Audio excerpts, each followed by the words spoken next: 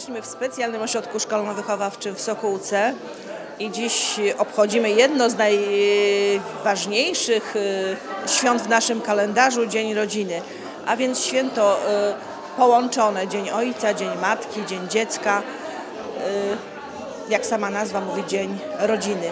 Ale jest to również święto naszych wszystkich pracowników, i tych pedagogicznych, tych niepedagogicznych, którzy w codziennej pracy pełnią wiele funkcji y, rodzinnych.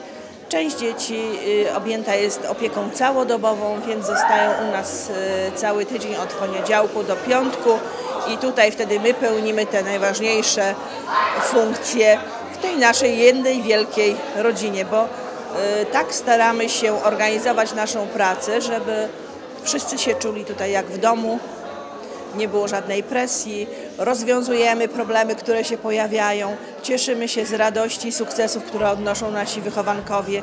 Współpracujemy z domem rodzinnym. E, przede wszystkim wiele konkurencji e, sportowych, wiele konkurencji e, muzycznych, zagadki, rebusy, które dzieci będą rozwiązywać wspólnie z, ze swoimi rodzicami.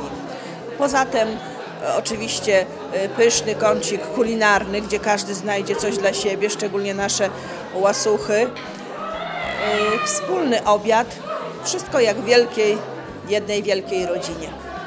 Chcemy integrować to nasze środowisko, chcemy łączyć się w realizacji przecież wspólnych celów i dydaktycznych, i wychowawczych przede wszystkim, ale też nawiązywać współpracę z rodzicami, łączyć się z nimi po to, by efekty naszych działań były jak najwyższe. Dzielić się z nimi radością.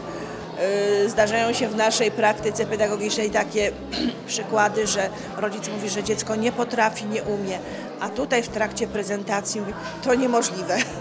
A jednak niemożliwe staje się możliwe. Jeżeli jest rodzina, jeżeli jest zgoda, jeżeli jest współpraca, to wszystko w życiu jest możliwe.